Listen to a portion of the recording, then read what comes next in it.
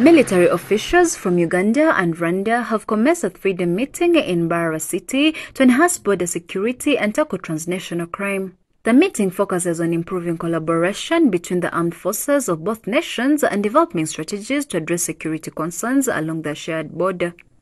The Rwanda Defense Forces delegation, led by Brigadier General Nelson Regima, the RDF 2nd Division Commander, was received at the Katuna border by the Uganda People's Defense Forces, led by Brigadier General Paul Muhanguzi, the Ugandan 2nd Infantry Division Commander.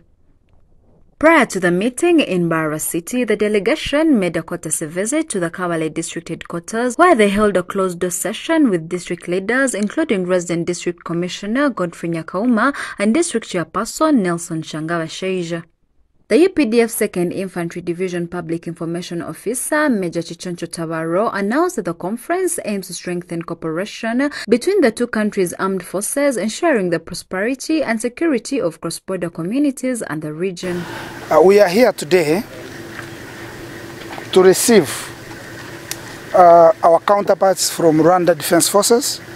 We received them at Katuna this morning and we had um, an engagement, a courtesy uh, call to, uh, with the, the district leaders of Kabale. We are proceeding, we shall have another engagement with the district leaders of Ntungamo. These are among other districts that share border with Rwanda and especially on our side as second division. The purpose of, uh, uh, of being here, we are heading to Mbarara City.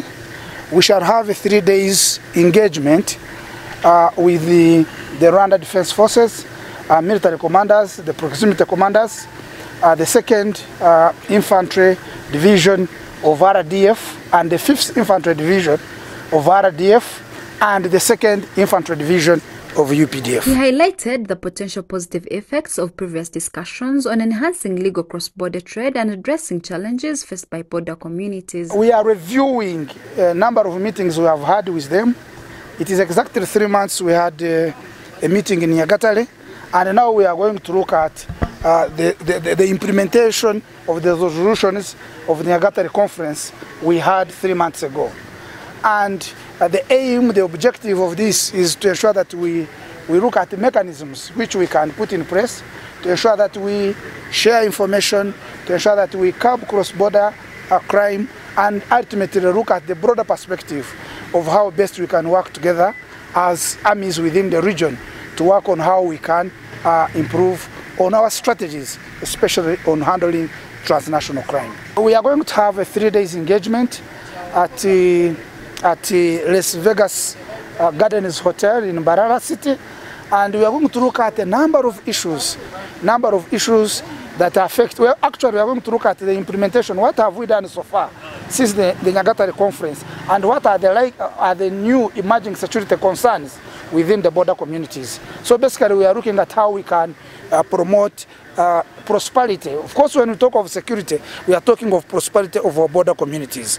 How we shall continue engaging with the local leaders, sensitize our population to be part of the, of the entire security architecture of our borders. Not only here, but also in other places.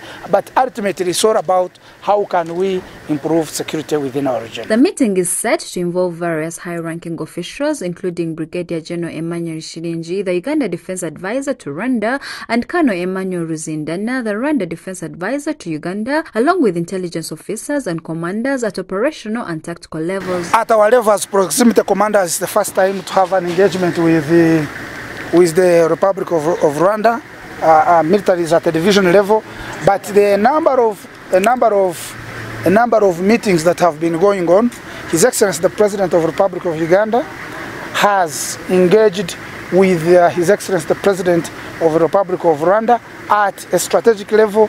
Our chiefs of defense forces have also met uh, uh, uh, on several occasions and basically pondering how best we can we can coexist, especially how we can prepare our, our border communities, how they can be part and parcel of the entire the security mechanism that can promote peace and security within the region. After the initial engagements in Kabale, the officials proceeded to Mbarara City to continue the discussions aimed at strengthening security and promoting regional cooperation. The sessions are being held at Las Vegas Gardens Hotel in Mbarara City. compiled by Norbert Ndiamhachi for Kigezi Television.